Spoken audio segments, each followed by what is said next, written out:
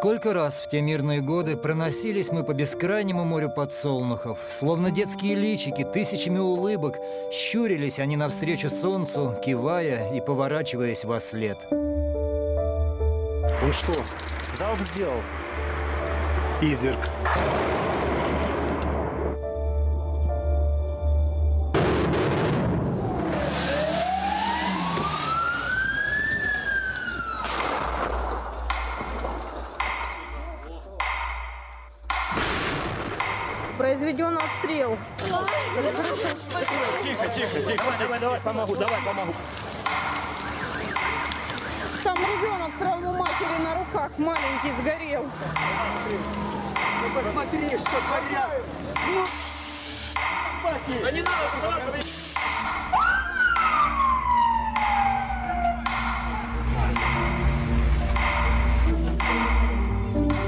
Девять лет назад вместе с танковыми колоннами в этот край пришла беда – смерть.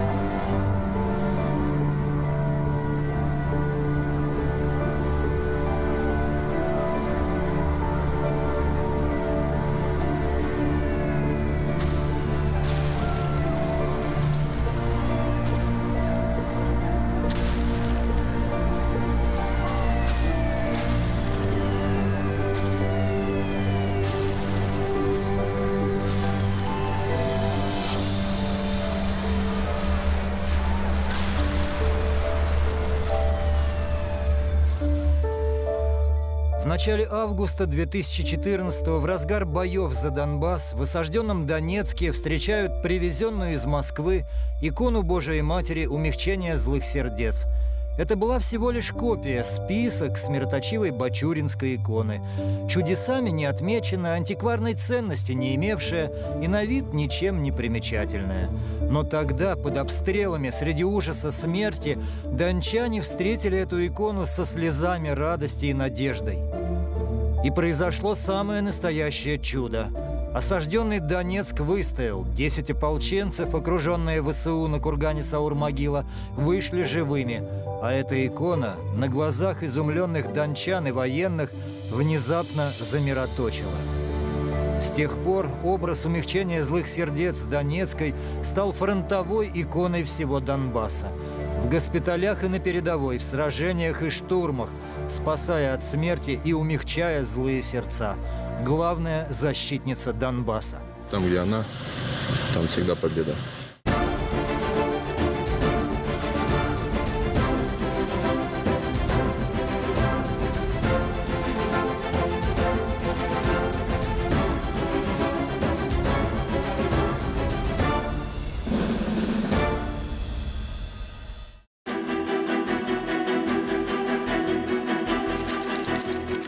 Эти кадры, попавшие в интернет осенью 2022 года, вызвали немалый резонанс. Неожиданное для военнослужащих мироточение образа Богородицы среди пользователей социальных сетей тут же вызвало споры. Кто-то заговорил о явленном чуде, другие отнеслись скептически, предположив, что это видео, скорее всего, фейковая инсценировка. Что ж, настало время рассказать о величайшей святыне Донбасса, фронтовой иконе Божией Матери, умягчение злых сердец Донецкая. Икона привела к победе не одно подразделение и сколько исцелила людей. Когда надо, она всегда рядышком. Главная защитница Донбасса. Кадры мироточения образа в руках военных зафиксированы съемочной группой телеканала «Спас» 12 ноября 2022 года. Мы снимали в то утро молебен в одном из подразделений на территории Луганской Народной Республики. В какой-то момент военнослужащий, державший икону, изумленно одернул руку. Вся ладонь блестела от просочившегося сквозь оклад иконы мира. Ты такое ви- видел когда-нибудь? Ну, слышал. Это чудо. Это сейчас за 15 минут молебна для мира. Да? Что сам Я сам шоке. Сколько я видел такого чудо первый раз вижу. Когда Это реально Божье чудо. на твоих руках замироточила руку. Так точно. Это не фейк и не инсценировка, рассчитанная на умиление экзальтированных зрителей. Это реальность, свидетелями которой стали военные и священнослужители. Она замироточила в 2014 году. Ребята из Альфа привезли ее сюда в поддержку ополченцев. Реальность, которую знают уже тысячи наших защитников, сражающихся за Донбасс с 2014 года. Эта икона очень значимая, говорю, известная. Она очень значимая и для нас, и для Донбасса, и для тех людей, которые понимают надмирный смысл всего происходящего. Все эти девять лет, как только начались бои за Донецк, образ Богородицы и умягчения злых сердец Донецкая мироточит. Перемещаясь по всему Донбассу вдоль линии фронта, мироточит неожиданно в тылу и на передовой, в руках военных, а то и просто в автомобиле. С образом Донецка идут на штурм, молятся перед боем.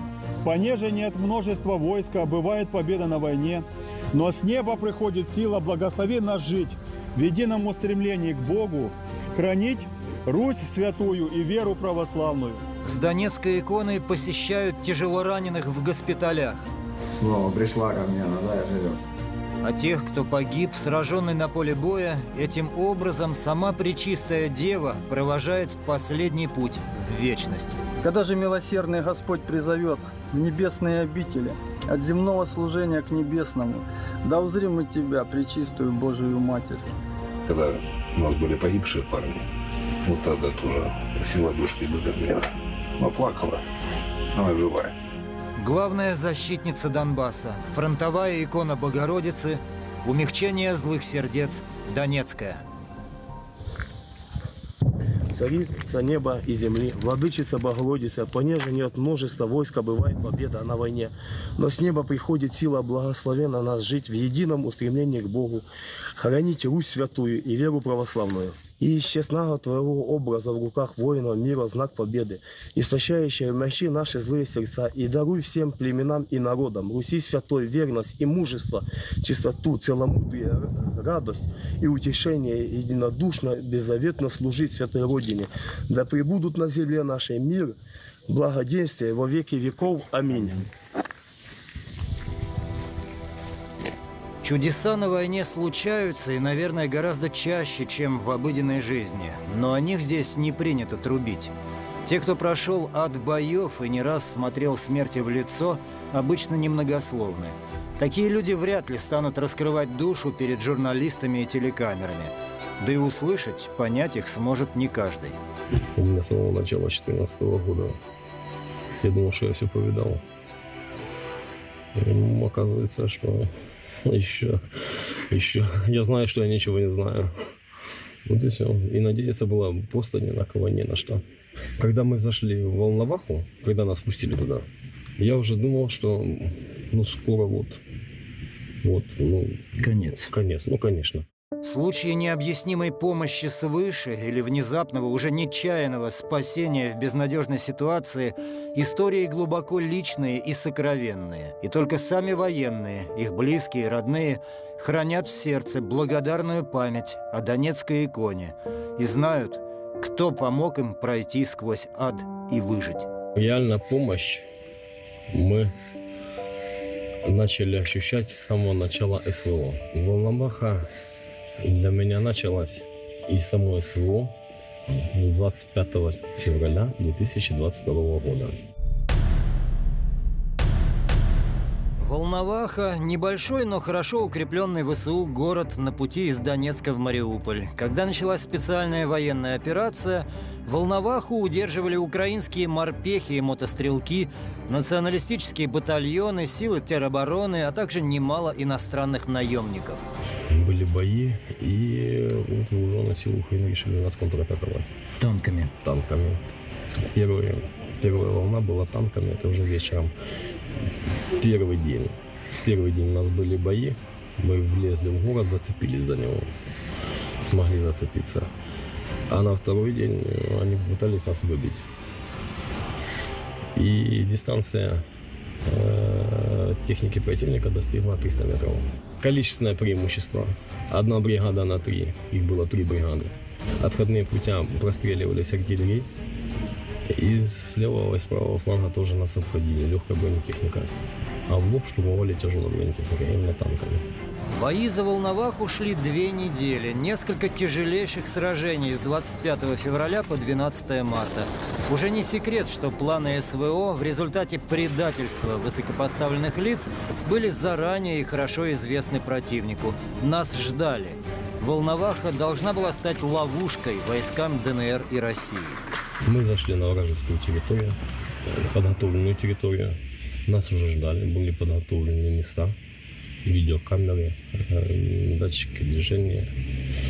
Все. Вот мы зашли утром в Волноваху, нас впустили. И начался бой. Как это бывало не раз, предательство либо глупость одних высоких штабных чинов компенсировались чудесами мужества и стойкости других, простых солдат и офицеров.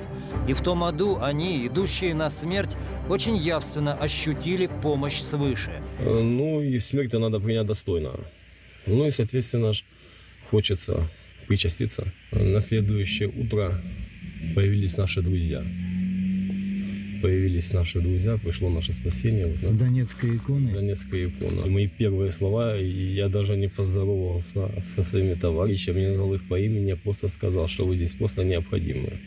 Нас причастили. По желанию со мной было три человека, я четвертый. К нам на позицию зашли, Э, мы- а мы держали непосредственно трассу со стороны Волновахи на Мариуполь. И вот пришло спасение. Донецкая Божия Мать. Да, Богородица. Под Волновахой это было очевидно. Когда эта икона приходила к нам тогда, когда, ну, по-простому скажу, закончился бензин, иссякли силы и духовные, и физические. То есть человек просто, ну, не было уже энергии жить. И эта икона к нам пришла в 2 часа ночи. И это был первый сигнал. И это не, это не то, что сигнал, это было воодушевление какое-то. То есть поток жизни вошел. Холодно было, очень холодно было. Много пострадавших, много раненых парней, много погибших было. Но это нам дало жизнь. Ну, то есть глоток свежего воздуха был. По свидетельству участников сражения, в те ночи и дни, когда казалось, что все, конец, в Волновахе внезапно появлялась Донецкая икона Богородицы. И так повторялось несколько раз. Буквально через три дня ну, очередная волна была. То есть там штурмы не- непрерывные шли бои. Вот. Аналогичный случай опять самое, ну когда уже надо было, свежий лоток, вот она пришла, Матерь Божья, дала опять жизнь. Опять свежий воздух, опять это как воды напился. Вот, вот такое было. И в третий раз я уже знал. Я молчал, батюшке нашему не говорил. Но я уже знал, что сегодня батюшка приедет. Девчонка говорит, сегодня будет батюшка. А нет, вы ты созвонился, а связи не было. А связи не было. И так и было. Вот так. С Ильичом мы познакомились еще в июле 2022 Очередной рискованный выезд с Донецкой иконой к линии фронта. Вот этот храм еще месяц назад был с куполом. Вот за эти недели с украинской стороны его окончательно разбили.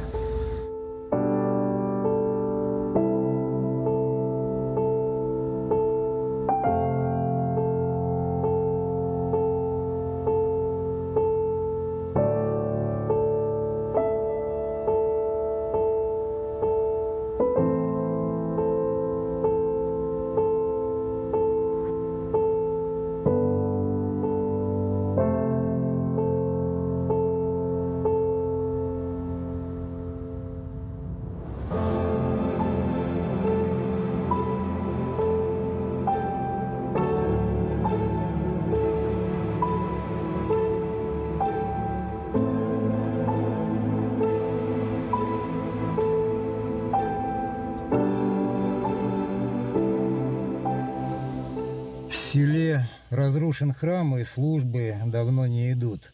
Но вот сегодня мы стали свидетелями, как военнослужащих и местных жителей причащали, и в качестве престола использовалась мироточивая донецкая икона.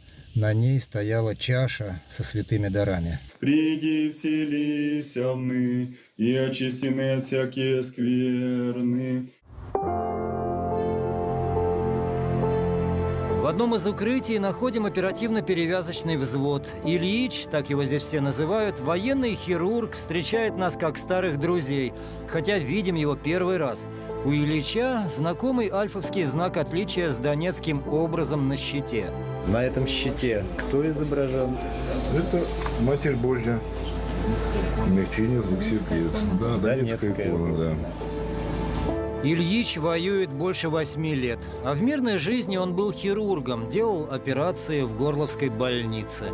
Все изменилось в 2014 -м.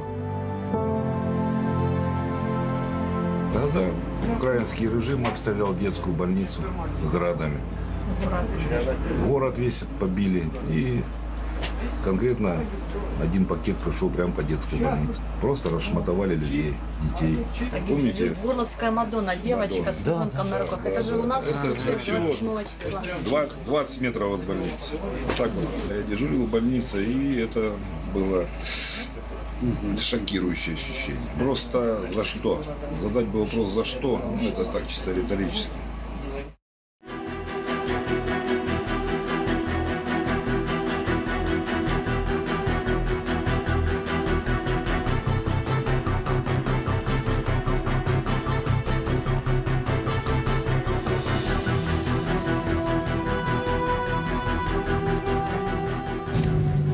Замечен только что беспилотник, поэтому надо ехать быстро и аккуратно.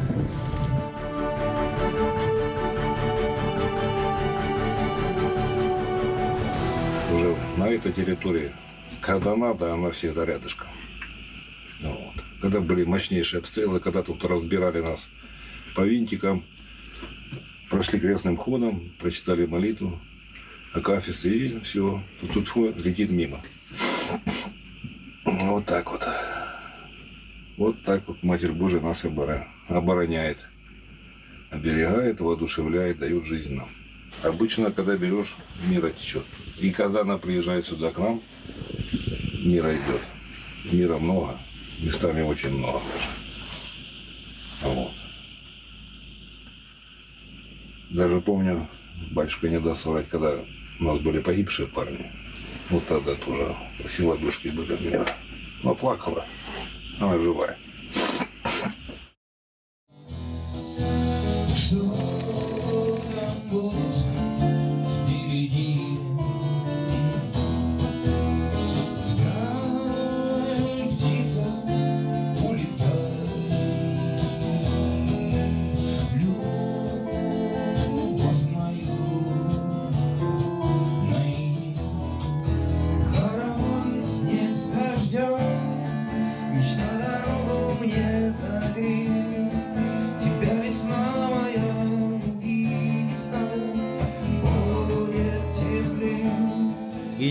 2022 года. В центре Донецка в галерее картин художницы Татьяны Пономаренко-Левераж проходит встреча телеканала «Спас» с бойцами и ветеранами двух легендарных батальонов «Спарты» и «Востока». В какой-то момент, когда все увлечены разговором, в помещении появляется донецкая икона умягчения злых сердец. Мерточивая икона, человек сердец. Все замолкают. Многие бойцы, особенно из батальона «Восток» Ходаковского, узнали этот пронзительный образ. Вот мы сейчас с Борисом держим, она и сейчас источает мира. Это икона спецназа. Ее специально возят наши знакомые по подразделениям, даже не по храмам, а именно по воинским подразделениям. Один из бойцов задерживается у иконы чуть дольше других и в конце в полголоса нам говорит, а ведь она когда-то спасла нам жизнь. По чуду никто не пострадал. 16 год. 16 год лета. Поцеловал икону, поклонился и ушел. Через час, когда встреча закончилась, уже на улице мы все-таки догнали того бойца. И вот что он рассказал. В шестнадцатом году эта икона побывала у нас на позициях нашего подразделения в аэропорту. Там мы ее обносили вокруг всех мест, где мы находились, наше расположение, боевой позиции. Прикладывали всех присутствующих ребят. И на следующий день по нам была выпущена противотанковая управляемая ракета, и она чудесным образом, в общем, не сработала штатно. То есть как это, если вот она к вам летела? Она летела четко в позицию, где, где накануне была эта икона. В один момент она изменила необъяснимым образом траекторию, пролетела мимо позиции, не причинив никому вреда. Эта ракета взорвалась, да. Никто не пострадал? Никто не пострадал.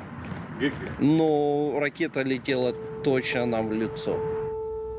Мы, мы приложились к ней сразу же, когда я переговорил с Александром Сергеевичем Ходаковским. Мы как-то сразу прыгнули в его машину и поехали в один из донецких храмов. Потом я встретил эту икону еще раз. Как только были освобождены первые поселки, Николаевка, Бугас и сама вот эта трасса Донецк-Мариуполь, но еще не взята Волноваха, я столкнулся с ней ну, просто на обочине фронтовой дороги, э, приложился э, к ней. И в этот момент э, шла техника с нашими бойцами, они улыбались, э, махали руками, их крестили, кропили водой святой. И это был момент, это, эти люди шли э, в бой, а вот где-то в, там, в пяти, в шести километрах все клокотало, рвалось.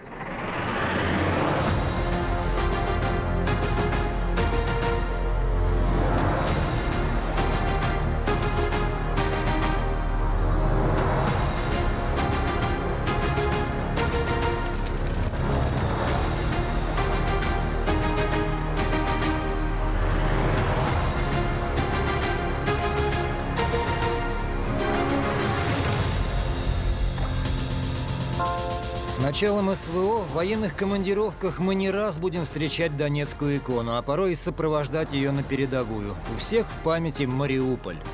Битва за город Марии, а именно так с греческого переводится Мариуполь, шла почти три месяца, с 25 февраля по 20 мая. Численность наших войск для такой операции была явно недостаточна. Отборные подразделения ВСУ, иностранные наемники и хорошо обученные боевики нацбатальона «Азов» закрепились в жилых домах, используя мирных жителей как живой щит. Жесткие бои шли буквально за каждую улицу, каждый двор, подъезд и этаж.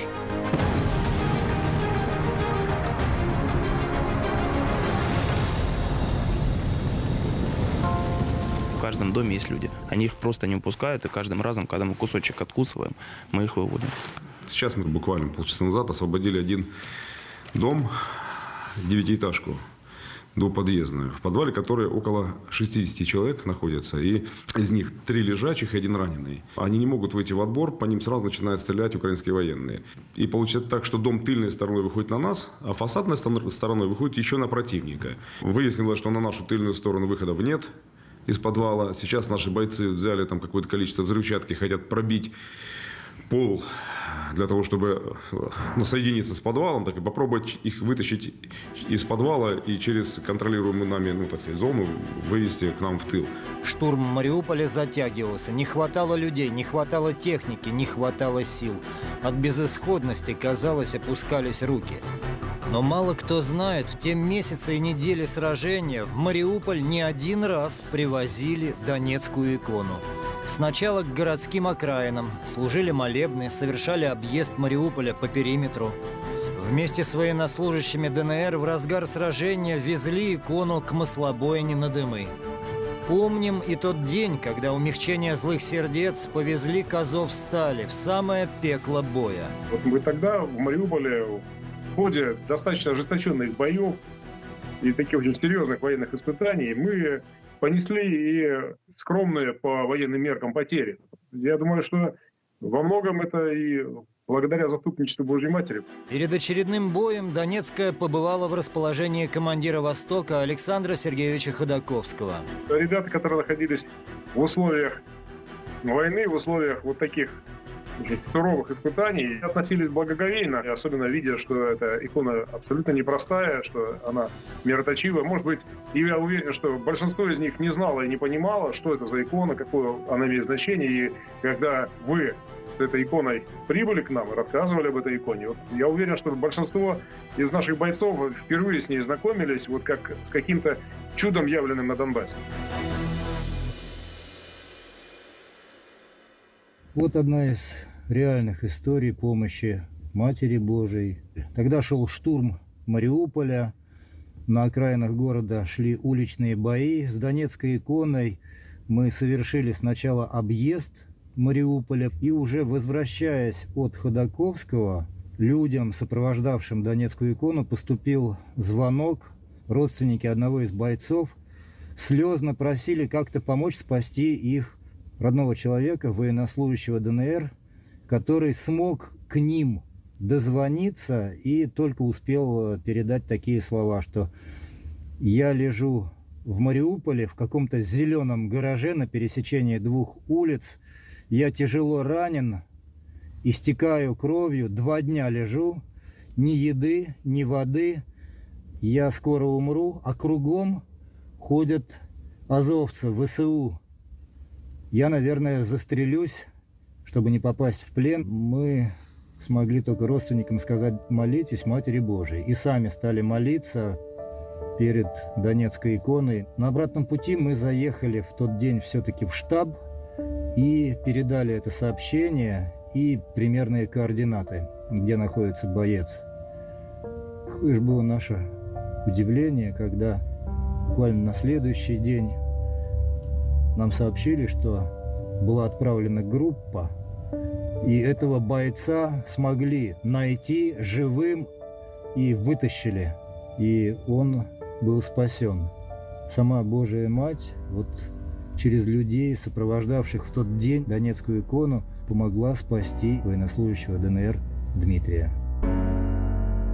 Заступничество Божьей Матери не раз э, было явлено, и мы это видели, потому что уже 8 лет нахождения вот в этом состоянии, состоянии постоянно непрекращающейся борьбы, и когда рядом с тобой находятся вот такие вот чудеса, они, конечно, людей, даже таких твердых, твердолобых, я даже сейчас сказал, пронимают и заставляют относиться и как, не то что к окружающим, а, а ко всем происходящим событиям, наверное, с какими-то зачатками веры для тех людей, которые еще достаточно далеко от веры отстоят.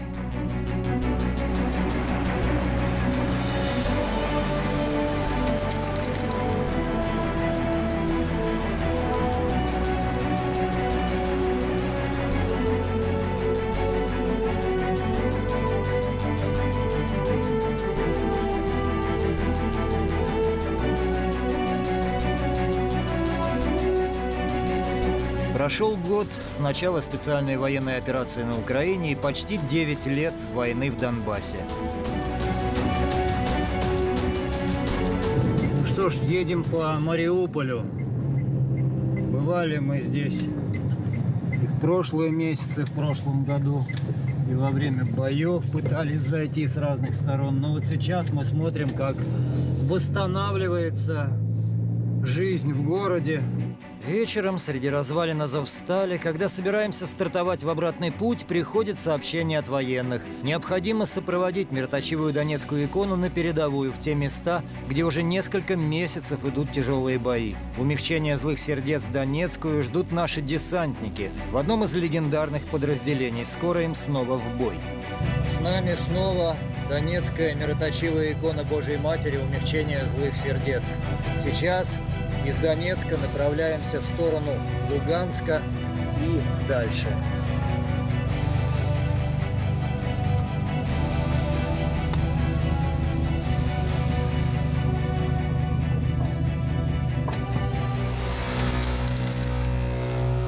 Подтягивайтесь к нам, дорога сложная, метель. Идите за нами, ориентируйтесь по нашим габаритам.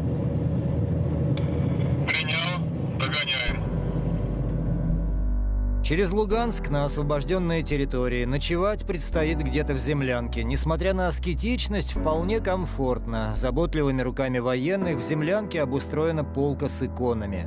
Помяну имя Твое во всяком роде и роде. Здесь нас и встречает ветеран Альфы, полковник запаса ЦСН ФСБ Сергей Поляков. Сергей Андреевич, ведь э, это именно вы тогда, почти 9 лет назад, привезли эту донецкую, тогда еще не мироточивую икону Божьей Матери умягчения злых сердец, по сути, в осажденный Донецк. Так оно и было. Промыслом Божьим э, 7 августа 2014 года я и Романах Макарий э, при- привезли этот э, теперь уже чудотворный мироточивый образ э, по просьбе дончан, когда решалась э, судьба Донбасса. Сергей Андреевич Поляков, один из командиров знаменитой Альфы, прошел Афганистан, участвовал в спецоперациях по освобождению заложников и нейтрализации террористов.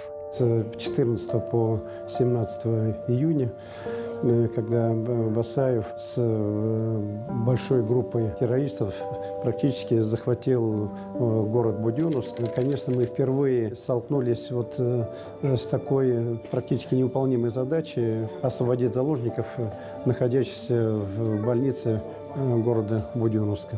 Возможно, именно после Буденовска в группе А многие пришли к вере в Бога. В начале марта 2014 когда кровавый пожар Киевского Майдана стал стремительно расползаться по всей Украине, угроза кровопролития нависла над Крымом. И тогда три Сергея – Сергей Поляков, Сергей Шалимов и Сергей Фомин – повезли на полуостров Севастополь и Симферополь знаменитую Бачуринскую икону Божией Матери – умягчение злых сердец. Это мировая святыня уже нашего времени, которая хранится в поселке Бачурино в Новой Москве. За минувшие десятилетия она прославилась многими чудесами и облетела всю Россию и мир. Умягчение злых сердец, икона Божьей Матери, Бачуринская, оказалась в эпицентре этих событий. Сегодня здесь тысячи во имя Бога, во имя спасения, во имя любви. С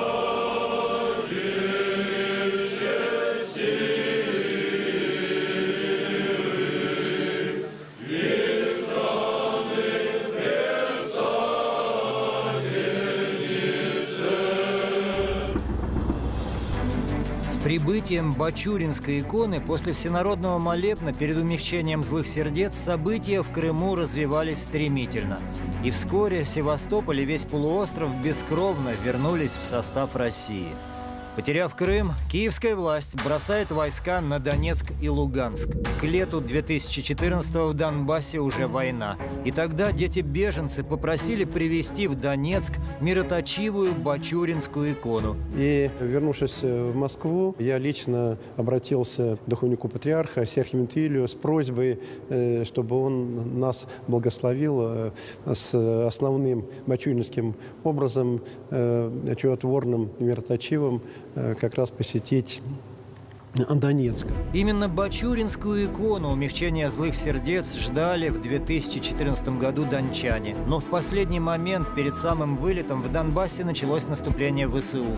Рисковать утратой святыни было нельзя, и тогда схиархимандрит Илий Ноздрин благословил Полякову взять в Донецк копию, список с мироточивой иконой из Бачурина. Можно представить, с каким тяжелым чувством отправился тогда офицер Альфы в Донбасс. Просто это меня ошеломило, потому что э, тысячи людей связывали судьбу с прилетом чудотворной иконы, и, конечно, мы не могли туда прилететь. И как потом оказалось, что это тоже был промысел Божий. Так получилось, что мы двигались из Ростова в Донецк э, вместе с Бородаем Александром Юрьевичем и вместе э, с командиром оплота Захарченко Александром Владимировичем. Да, действительно, 2014 год он способствовал всякой экстремальности. Суть в том, что тогда у нас не было практической границы. Дырка была не через Донецкую республику, а через Луганскую. И дырка была довольно проблемная. Ну, собственно, это где-то было в районе Изварина. Я не то, чтобы ее вез из Москвы, я ее встречал в районе границы. Это правда. В этот момент э, ВСУ провели операцию по захвату всей границы. Но у нас другого выбора не было. И вот мы э, как на э, трех машинах проскочили всю эту э, территорию. Хотя за нами э, шла машина сопровождения, она уже, эта машина попала в засаду, и э, два э, ополченца погибли, двое раненых было, они потом 10 суток как бы выбирались уже из, из окружения. Дончанам, ожидавшим увидеть святыню, Поляков повез копию. Но послушание выполнил, и тогда в Донецке случилось чудо.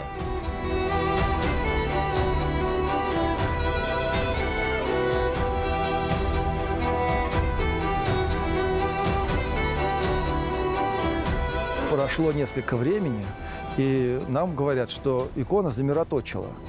Мы немножко так растерялись, потому что ну, наша икона мироточит. Какая замироточила?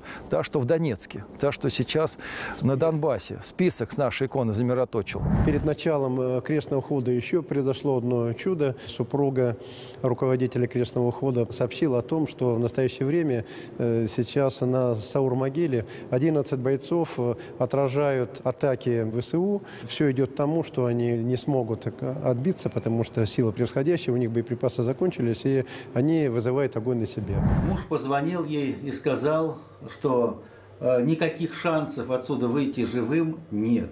Позвонил и попрощался. Наш боец позывным СОМ вызвал огонь на себя. Нам приходило донесение в штаб, и мы корректировали огонь нашей уже артиллерии. Сюда били машины БМ-21 «Град». До нас он дозвониться не мог. Он дозвонился до своей жены с окопа, а жена на наш штаб дозванивалась. Что так и так, вот такая ситуация. Его жена передавала Да. в штаб, чтобы Да, вызвать да, да, огонь да. на ее Так точно. мужа. Да, да. Александр Сергеевич Ходаковский принял решение, открывали огонь. Ну, весь крестный ход э, стал на колени перед э, э, иконой. И вот тогда стали молиться перед этой иконой, а на следующий день поинтересовались, а что же э, с этим человеком? Оказалось, что вышел не только он, но еще 10 человек с собой вывел. Когда весь крестный ход э, со слезами на глазах э, крепко помолился, вот на утро все эти 11 бойцов э, были в Донецке. А в итоге вот этот боец Сом, он выжил? Да, он живой, нормально. Он выжил, и медведицы, Сом, Рева, Сема. Может, это даже где-то им помогло здесь устоять, этот первый такой мощный натиск врага удержать. И вот мы приехали на базу э, батальона «Восток» для того, чтобы служить благодарственный молебен перед этой иконой. И во время молебна она обильно замироточила.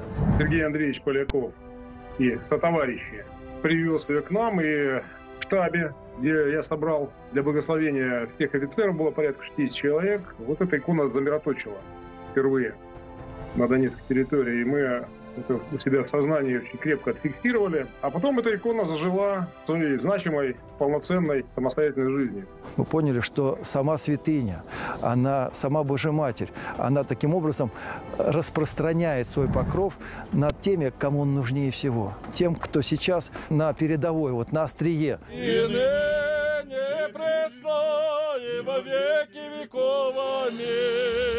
Хаймерсы, Цезари и три семерки, калибры, герани и санцепеки. У кого надольше хватит ракет и снарядов, кто быстрее уничтожит друг друга. В этом безумии войны, когда от безысходности в уныние опускаются руки, верим, не боеприпасами едиными жив солдат.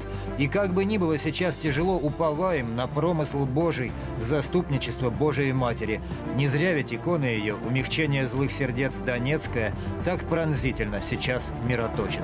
судьба этой иконы и судьба Донбасса настолько тесно переплетены, что все, что происходит, и икона этому явное свидетельство, все это происходит, э, конечно, во-первых, по воле Божией, а во-вторых, э, с каким-то большим, глубоким значением. И не только для Донбасса, а, я думаю, что для всей большой необъятной России. Божья Мать всегда с нами. Благослови, спаси всех. С миром и с Богом.